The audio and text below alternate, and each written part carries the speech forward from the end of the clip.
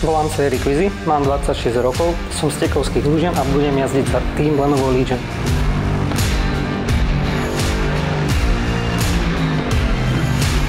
Jsem Lukáš Rašovský, je mi 17 let, jsem z Čišnova a jezdím za Lenovo Legion.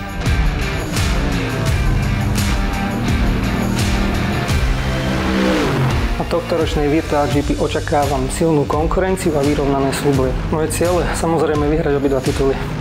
Čoho sa bojím najviac? Myslím, že niečoho. Človek jednoducho do toho musí skočiť. Tak konkurence si myslím, že je obrovská, eh, jak minulého roku, tak nováčci. A iRacingu celkem sedí, takže budu doufat, že budu dost dobrý. No, tak výhodu určitě věk, protože jsem mladší než všichni ostatní, že se rychle učím.